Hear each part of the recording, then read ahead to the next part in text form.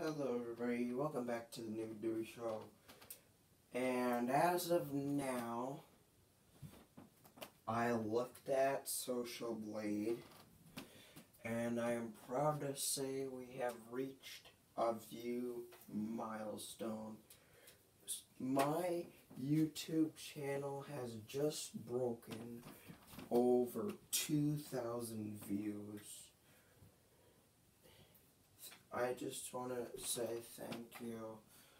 In two months, my YouTube channel got 11 subscribers and over 2,000 views, which in the span of two months after just starting my YouTube channel, that is pretty substantial growth in terms of views.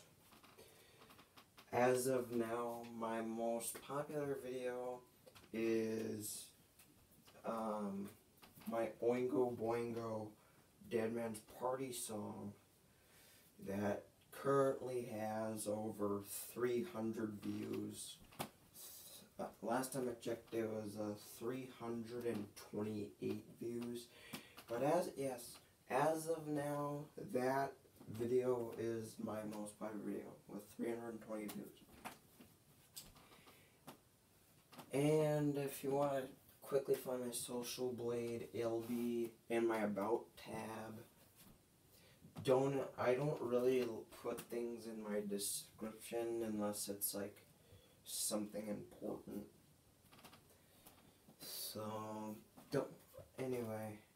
So according to my my YouTube stat Right now, my Social Blade rank is a C plus, which grade a social grade rank uh, shows how your channel is like doing like because like if you look at like Ray William Johnson's Social Blade, he has an A.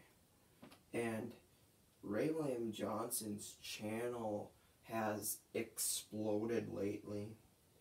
Like, in the span of like two months, his channel gained like 500,000 subscribers, and he is getting very good views. Like, he averages anywhere from three to six million views per video, which is very, very good.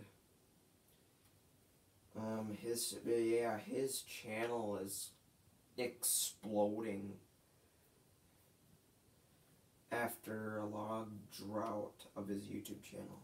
Because now, if in order today, now you're gonna have to say the rise, fall, and rise again of Ray William Johnson because man, his videos are exploding with views and subscribers. But that's not what I'm basically here to talk about.